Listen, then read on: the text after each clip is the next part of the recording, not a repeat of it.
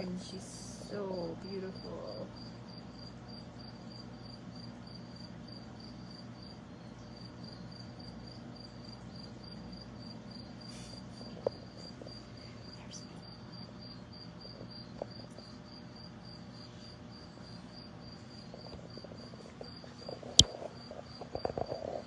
Hello everyone! My name is Stephanie. I'm the director of Wild Care. Thank you for joining me today. You were just looking at a snapping turtle who is named Julia and I think our interns had named her this. It's a turtle who was found in Orleans on Pochet Road and she was hit by a car. She had um, a fractured shell and also was gravid with eggs. Uh, this was earlier in the season. She's a beauty. We're all in love with her. And so we're gonna watch her be being fed today by Chelsea. Let me turn the camera back around. So this is the snapping turtle.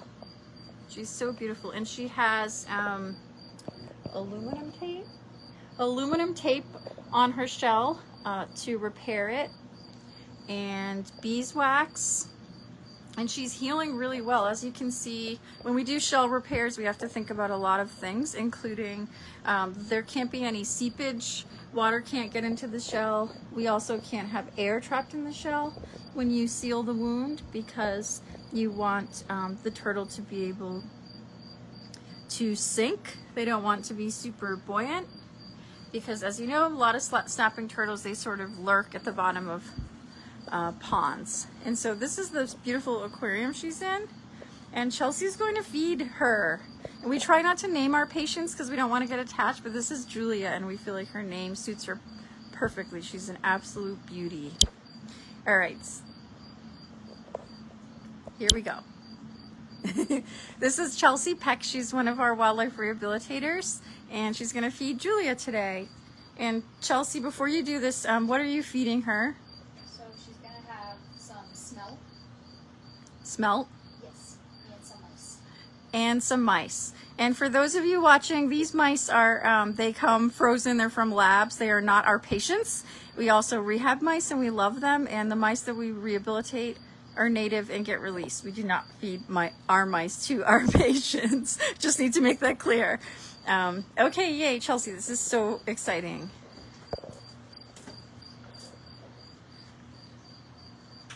Julia is so animated.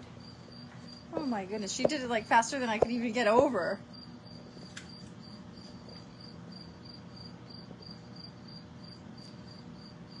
What a gorgeous turtle. I love that she has algae on her shell. She's so camouflaged. Imagine this turtle on a pond bottom. And snapping turtles, uh, they are native, a native species. There goes another smelt. There we go, Julia. Oh my goodness. She's incredible. A dinosaur.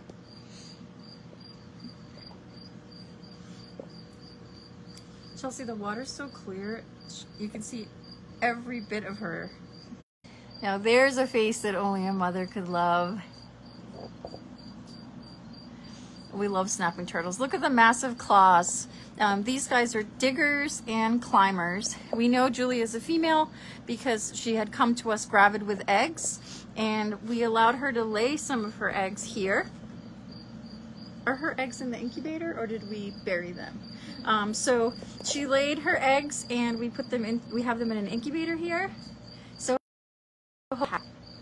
here we go.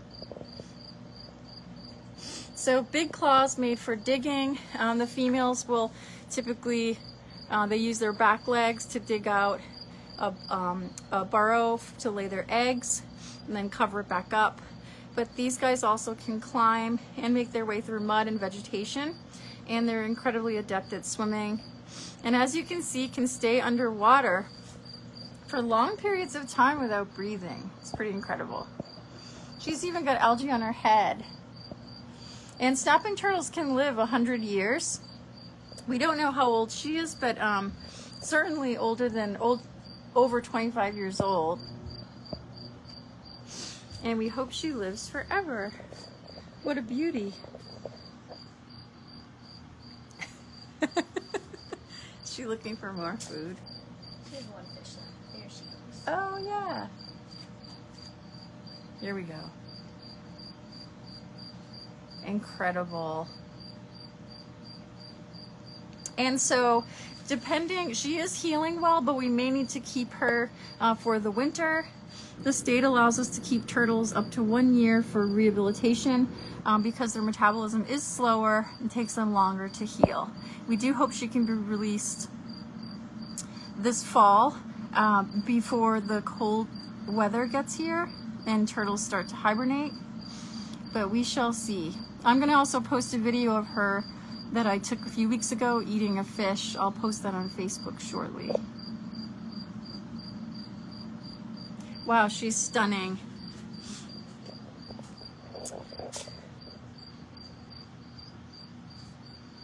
Um, and Chelsea, I have one more question.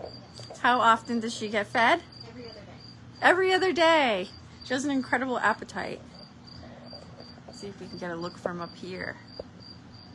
Wow. Just wow.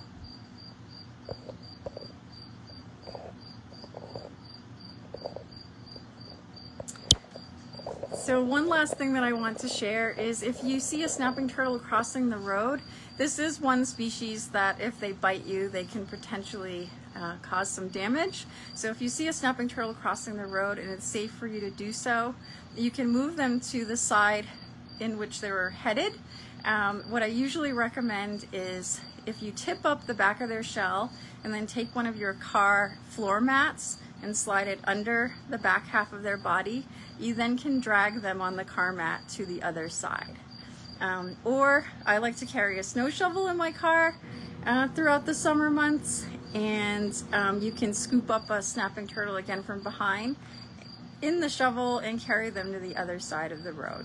We don't recommend putting a log in their mouth and then dragging them because of course you can cause some damage to the neck or their biting uh, jaw. Uh, so the best thing to do is tip them up in the back. And um, if you do that, just be careful that they don't reach back with their neck to try to bite you. So just be mindful of that. But it is important, um, you know, to get them safely to the other side of the road when you can. Anyway, we love Julia and stay tuned for her progress. Thanks everyone.